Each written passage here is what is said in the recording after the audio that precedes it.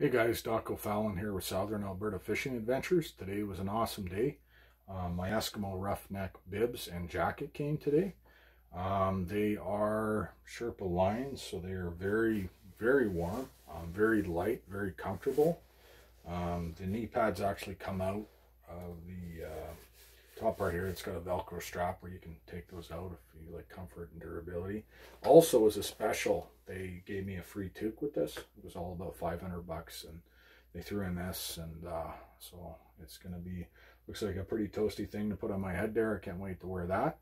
Also, uh, the coat came with, um, it's got four pockets in the front. It's got two on the side and one on the top to fit lots of tackle and knickknacks in there. It's also got two pockets in the front and uh, one on the inside, and as well as a very warm um, hood on the back that actually have a couple strings that cover the, the whole face there. If you fish in southern Alberta, you know how nasty wind out in uh, Crawling Valley, Travers, Badger Lake can get. So that's was a definite plus for me.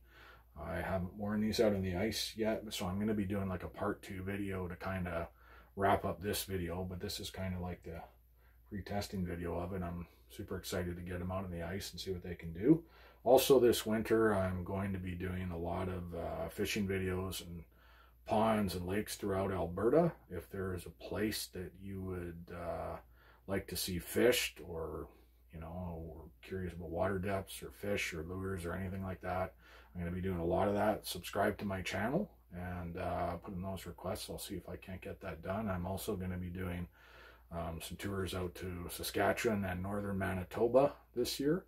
So I can't wait to try these bibs out and uh, test out uh, how good they work. They also are waterproof, uh, wind resistant. Um, they also do float. I'm not going to be doing a float test like some guys on YouTube do, but I'm, I'll take their word for it. I've been an Eskimo guy since 2013. I got my first auger with them, my tent, um, a lot of other things I've gotten from them. So I'm kind of loyal by a lot of the purchase and a, lot, a lot of their products I've gotten have worked out really good for me.